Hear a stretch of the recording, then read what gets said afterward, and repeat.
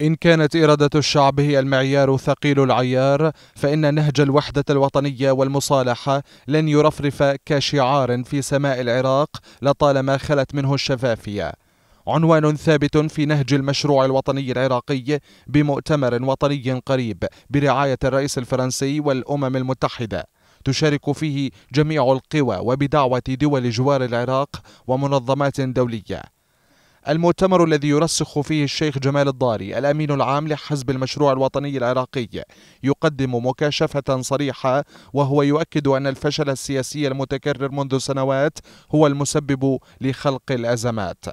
لا خجل من الواقع. فالضاري يدخل في صميم العلاج وهو إعادة النظر بالعملية السياسية وتعديل مسارها وانهيار مشروع لبنانة العراق لإنقاذ الوطن من ويلات المحاصصة التي يقول الشيخ إنها تسببت بهدر دم العباد ونهب ثروات البلاد والاتجاه نحو بناء دولة مدنية تتسع لجميع العراقيين.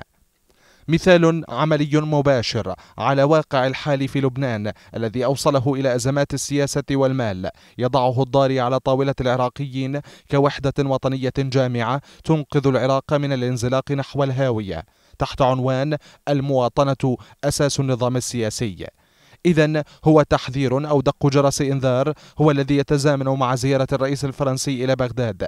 ومع قرب المؤتمر الوطني يؤكد الشيخ جمال الضاري على صناعة وتكوين عملية سياسية تنتج إجراء انتخابات نزيهة فالمشروع يؤكد أيضا أن الانتخابات الشكلية جعلت الكثير من القوى تمتنع عن المشاركة لتبقى متفرجة. ولم يغفل المشروع عن تعديل الدستور الذي كتب على عجالة فلم يخرج من عباءة الطائفية نحو التيار الوطني المستقل.